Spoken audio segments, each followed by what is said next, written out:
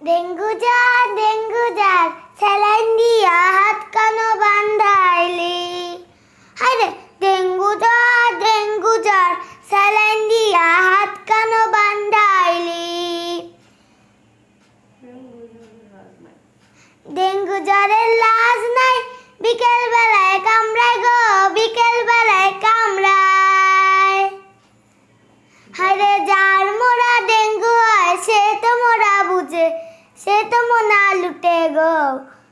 Dengue জ্বর dengue জ্বর saline দিয়া হাত কানো বান্ধাইলি।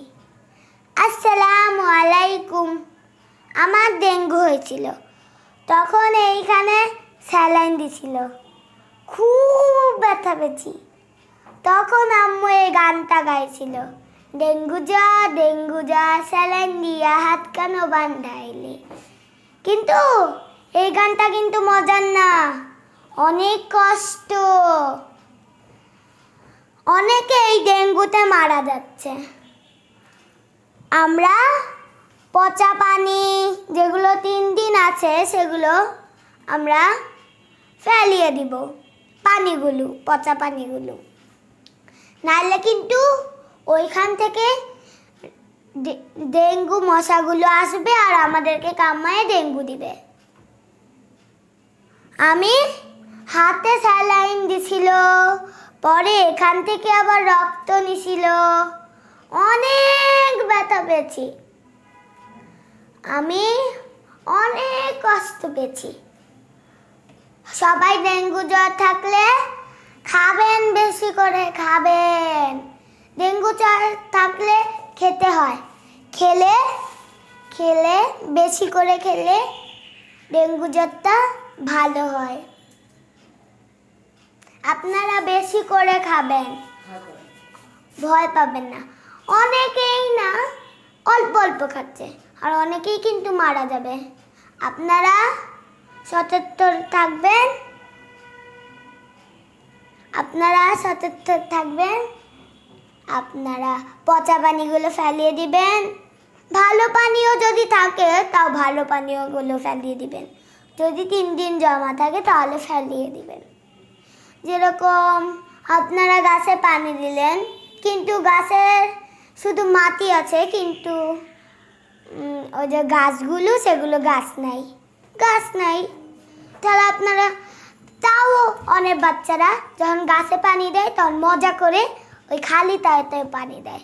তার জন্য আপনাদের দেখতে হবে ভালো করে যে বাচ্চারা কীভাবে কীভাবে গাছে পানি দিল।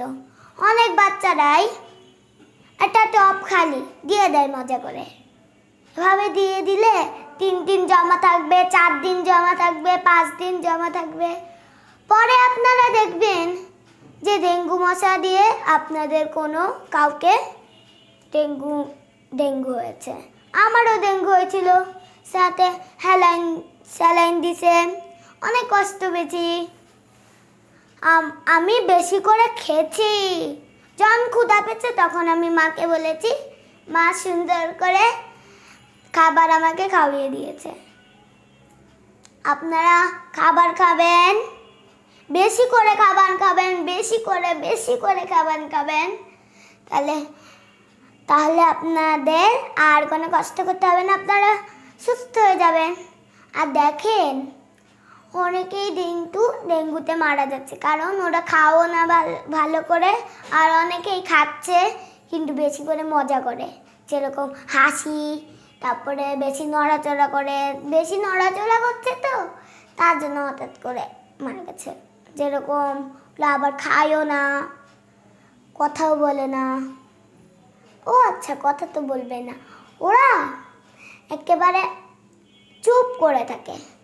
আর খায় না বেশি। আর আপনাদেরকে একটা কথা বলি। আমি আমি চোখটা বন্ধ করে ফেলছিলাম আর বেশি খাইতাম না বাসায়। তার জন্য আম্মু আমাকে হসপিটালে ভর্তি করাচ্ছে। অনেক কষ্ট হচ্ছে হসপিটালে বাসায় আসতে মন চাইছে। কিন্তু কেমনে আসব? থাকতেই তো হবে।